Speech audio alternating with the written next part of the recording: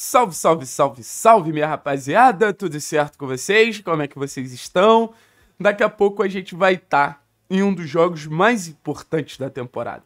E eu tô valorizando muito cada segundo dessa Copa Sul-Americana, porque eu vou manter o meu discurso. Dá! Dá, pô! Se tiver postura, se botar a bola no chão para jogar, se tiver inteligência para entender o que o Varini tá pedindo, dá, pô é o famoso dar, sabe? Então, assim, não é só uma confiança aleatória. É entender que o Atlético das Copas é um Atlético diferente do Campeonato Brasileiro, infelizmente. É algo que eu lamento aqui com vocês. Não é algo que vocês acham que eu festejo. Tudo que eu queria era que o Atlético tivesse o mesmo desempenho no Campeonato Brasileiro e nas Copas. Mas a realidade é que é outro Atlético. A realidade que é outra pegada, a realidade que é outro ritmo, a realidade que é outro nível competitivo.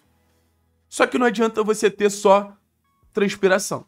Não adianta você ter só capacidade de lutar, vontade de lutar. Em Copa, você precisa ser inteligente. Em Copa, você tá mais num bang bang do que em jogos de Campeonato Brasileiro. Porque você é contra seu adversário. É você tentando encontrar a fragilidade do seu adversário e o seu adversário tentando encontrar a fragilidade de você. Sabe aquela série de faroés? Que, pô, fica um cowboy de cada lado, aí gira o revólver, quem dá o tiro primeiro ganha? É mais ou menos isso.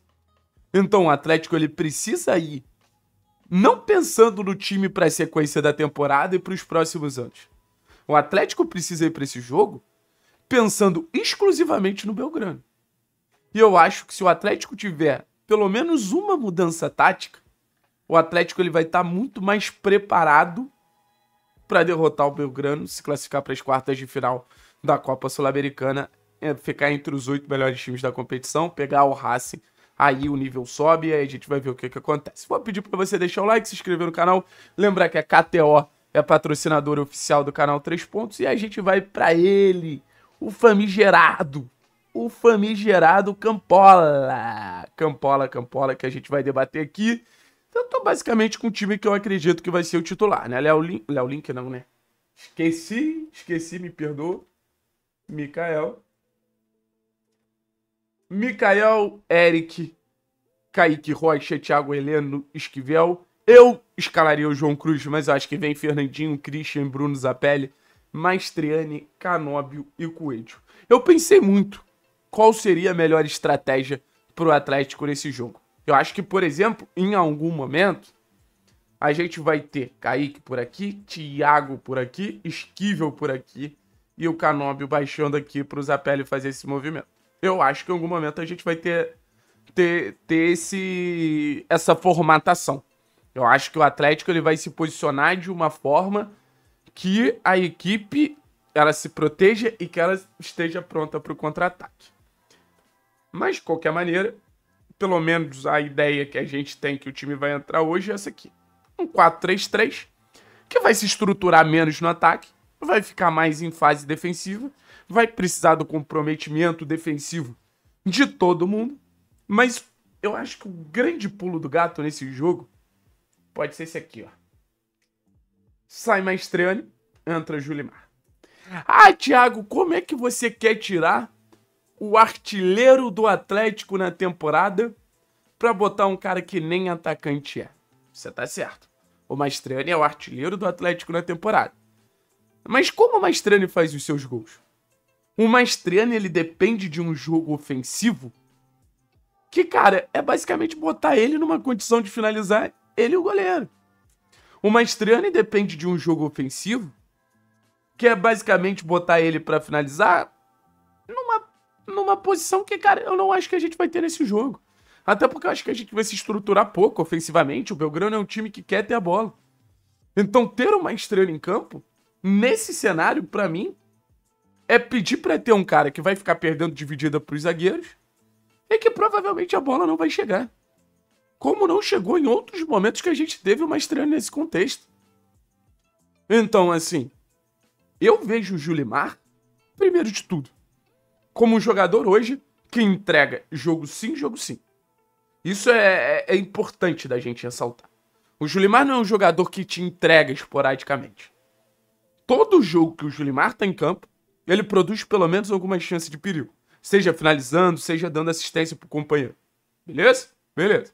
Segundo, contra-ataque. Que eu acho que é o cenário que a gente vai poder agredir o Belgrano. Cara, Canob de um lado, Coelho do outro e o Julimar são três pontos de velocidade para um Atlético que já tem Zapelli, Fernandinho e Christian e o próprio Esquivel que tiram bem esse time da pressão para você atacar espaço. Para você atacar espaço. O Julimar é o jogador perfeito para esse tipo de jogo, principalmente pela capacidade física dele.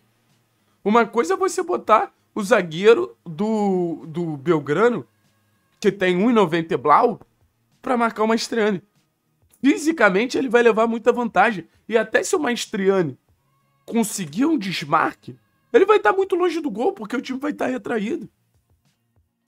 E até se você for parar para pensar defensivamente, acho que o Julimar ele colabora mais do que o Maestriani sem bola. Agora você pensa, bola longa, bola longa do Mikael. O Julimar começa a postar corrida com um grandalhão brutamonte de 1,90 e pouco. Cara, o Julimar pode parar na cara do gol. O Julimar tem essa capacidade física de botar o zagueiro numa posição de desconforto o tempo inteiro. Porque o zagueiro ele sabe, se ele errar, ele vai ter um jogador com a capacidade física de chegar na cara do gol. Então o que a gente está falando aqui do Julimar não é simplesmente uma preferência pessoal. O que a gente está falando do Julimar é uma questão estratégica. Pro Atlético ter um ataque de mais mobilidade, pro Atlético ter um ataque com mais capacidade de atacar espaço, pro Atlético ter um jogador mais obediente taticamente sem bola, pro Atlético ter um jogador que, que, que oferece mais perigo é, no, no, no, sentido de gerar uma, um, um, cuidado maior do zagueiro dos caras. E volto a dizer, a temporada do Julimar é uma temporada de afirmação. A temporada do Julimar é uma temporada muito sólida. Que vou te falar também, já fez gols de centroavante. E gols importantes contra a Vitória, gols importantes contra o Atlético Goianiense. Exatamente nesse movimento de aparecer nas costas da zaga.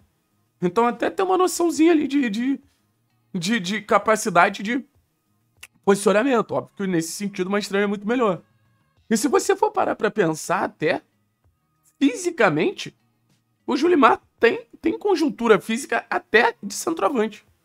Se você bota o Julimar paradão ali para disputar com o zagueiro e começa a dar chuveirinho, o Julimar é um cara alto, o Julimar é um cara forte.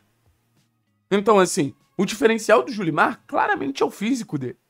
O diferencial do Julimar claramente é a capacidade de, de, de acelerar e deixar um time do Belgrano que vai estar tá com a linha alta para trás. Eu prefiro essa capacidade do que contar que o time vai ter uma grande criação e essa criação ela vai ser um cenário ali que a gente vai pô, conseguir botar uma estreia na cara do gol. Eu acho mais improvável esse cenário. Não sei o que, que vocês acham. Enfim, rapaziada, tamo junto a nós. Hoje a gente vai focar bastante nesse jogo. Daqui a pouco a gente traz mais um detalhe tático de Atlético Belgrano. Mas se eu fosse o Varinho, eu iria sem dúvida para essa opção. Valeu? Tamo junto, é nóis.